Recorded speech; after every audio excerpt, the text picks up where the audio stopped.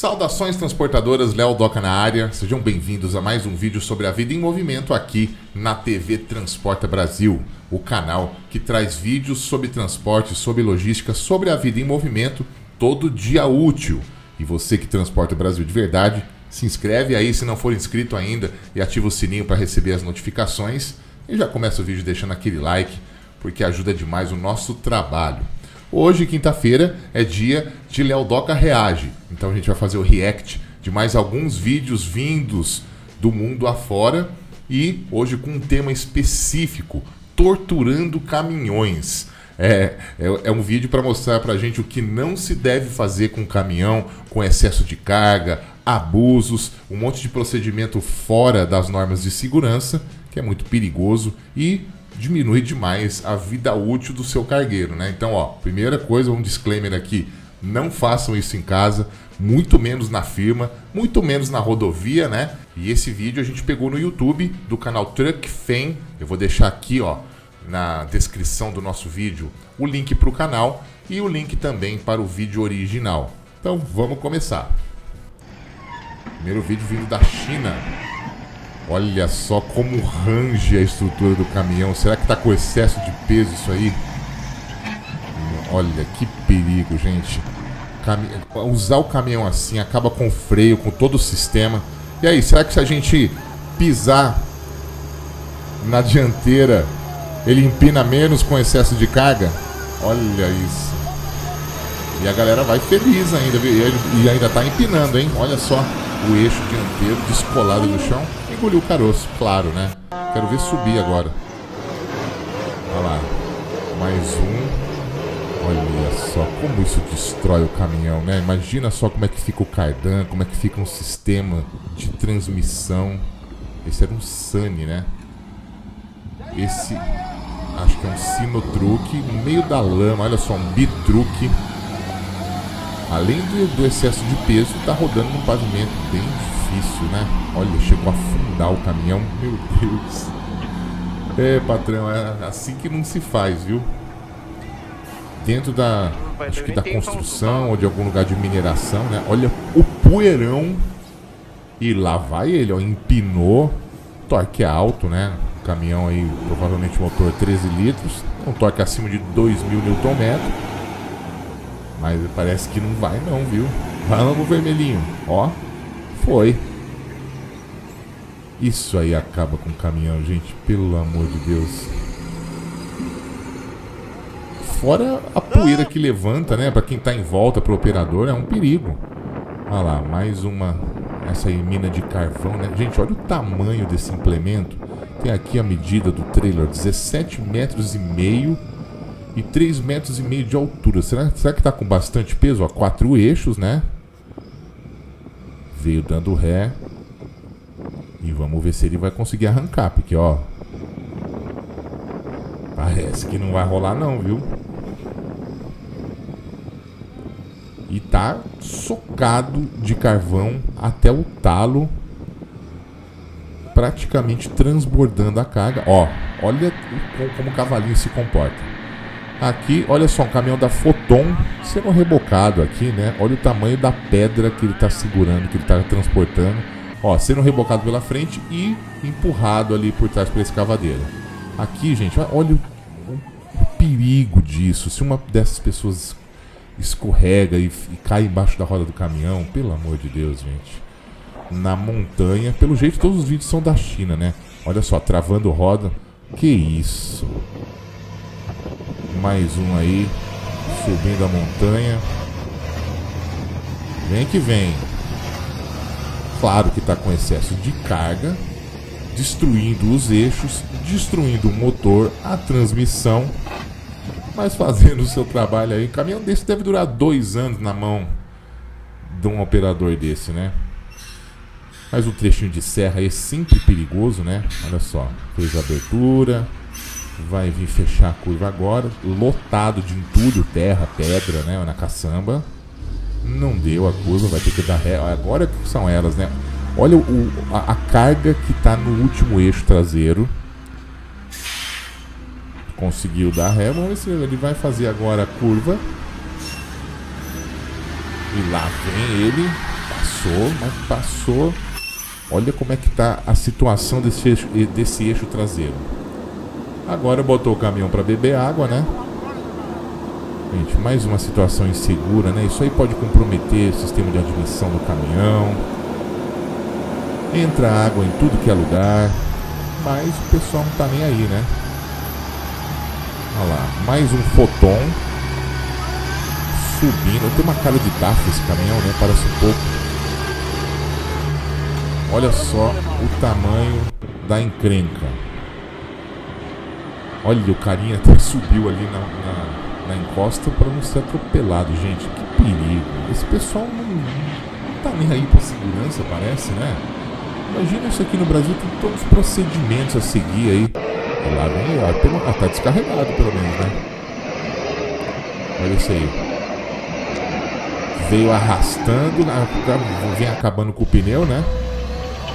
Assustador, né? Ó, um caminhão da Shackman na obra. Vai subir, vai engolir caroço. Não, não aguentou. É muita carga. Vai, meu filho. Não sei o que ele tá falando, mas deve estar tá falando. Vai, meu filho. Aí, segunda tentativa.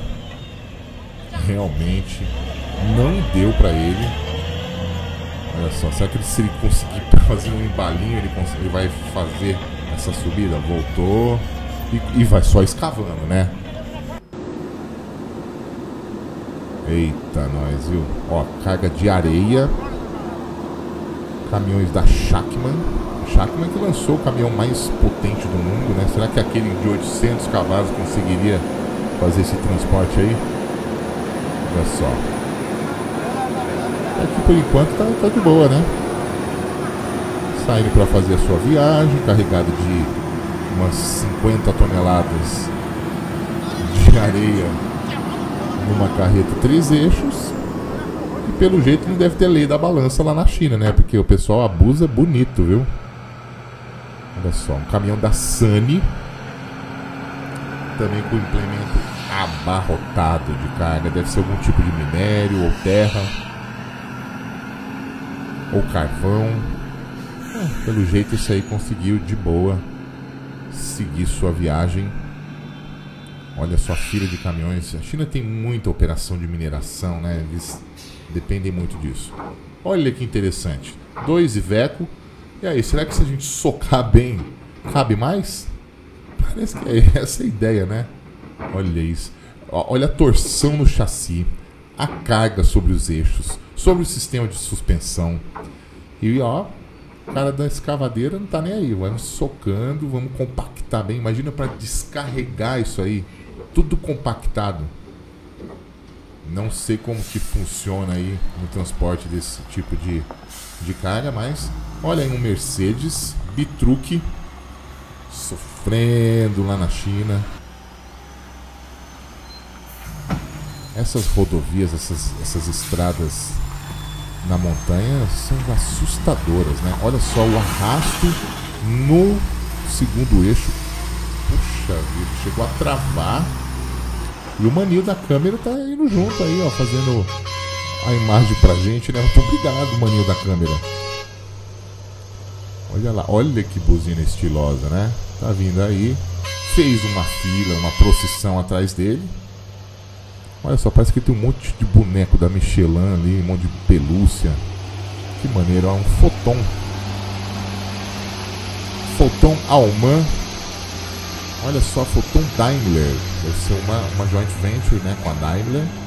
Subiu, mandou bem, sem maiores problemas, fazendo sua, o seu trabalhinho do dia com excesso de carga absurda, né? Mais um aí. Olha só, chega tá. Olha, tá patinando, que engraçado, né? A tração nos eixos traseiros. Vai dar ruim isso aí. Olha como tá a aderência disso. Esse solo de lama fica muito ruim, né, para o cara fazer a operação dele. E o patrão lá, o coordenador da operação, dando as ordens. Nessas horas que a gente queria saber chinês para saber o que, que esse cara tá falando, né? É, patinou, patinou. Parece que é um caminhão traçado, né? Com tração integral. Mas mesmo assim, olha o estado desses pneus também, né? Imagina que tipo de aderência um pneu careca desse vai ter em qualquer via, né? Eita, voltou esse aí, não conseguiu subir. Com certeza vai tentar de novo, né? 757B. É, nesse solo aí fica mais difícil, né? Acho que ele vai cavucando a própria via para poder passar, né? Olha só. Ó, o próprio caminhão ele, ele montou uma rampa, construiu uma rampa para poder passar. Mas pelo jeito não vai dar não. E aí, você faz isso com o seu caminhão? Bota nos comentários aí como é que é o seu dia a dia. Você trabalha com sobrepeso? Olha só, caminhão da Shackman, olha a escavadeira Caterpillar fazendo a carga. Será que eles vão fazer aquele, aquela socadinha igual fizeram no Iveco? Vamos lá, ó enchendo o caminhão de entulho. É. Aparentemente aí uma operação tranquila e normal, né? Deve estar abrindo aí uma barragem, uma represa, alguma coisa nesse sentido. Canteiro de obras com movimentação de terra. Olha como balança o caminhão, olha como isso exige, né? Esse tipo de operação exige muito da, da estrutura do veículo. Esses caminhões não devem durar nada, porque um sobrepeso desse, uma condição dessa, olha só que interessante, fez o transbordo né, na, na carreta basculante, mas não estava conseguindo sair ali não. Mais uma da mineração. Esses caminhões vermelhos aí da China vão ficando famosos aqui pro nosso deleite, né? E se você tiver algum vídeo interessante que, gente, que você quer que a gente comente aqui, que eu reaja, manda aí. Eu vou deixar o meu e-mail no, na descrição do vídeo, o e-mail da gente aqui do Transporta Brasil, para que você possa nos enviar o material. É, tá vindo devagarinho. Deve estar tá com bastante excesso de peso. O motor deve estar tá gritando. Até que tá vindo numa boa. Olha só, aparentemente é um caminhão a gás. Ah não, não é não. É, são tanques de diesel de suplementares atrás dele, olha só. Bitrucão. Caminhão FAL. E aí, vai dar uma resinha para tentar fazer a abertura. Tá ruim, hein? Muito difícil, gente. Dá uma aflição de ver isso, né? Motorista tentando fazer o, o seu trabalho. Olha só, não tem mobilidade nenhuma. Já olha a carga nos eixos traseiros. E tratando do equipamento assim, ele não vai responder, né? Vai responder mal, com toda certeza. É isso. Tá aí, 12 minutos de vídeos de tortura de caminhões vindos lá da China. Eu espero que você tenha curtido. É um bom exemplo, né, pra gente ver como não fazer, né, como não trabalhar com caminhão. E aí, deixa os seus comentários aí se você trata bem do seu bruto, se você anda com sobrepeso, como é que é o seu dia a dia na estrada. E eu agradeço a você que assistiu o vídeo até aqui, valeu demais. Espero que você tenha curtido. Se você curtiu, deixa o seu joinha, que semana que vem tem mais Léo Doca Reage e todo dia útil aqui na TV Transporta Brasil tem vídeo novo. Basta você se inscrever aí e ativar o sininho para você receber todas as notificações. E segue a gente aqui, ó, nas redes sociais do Transporta Brasil. E se você quiser ficar bem informado sobre o mundo dos transportes, é só entrar todo dia aqui, ó, no nosso site transportabrasil.com.br. Valeu demais e eu te vejo no próximo vídeo. Até lá!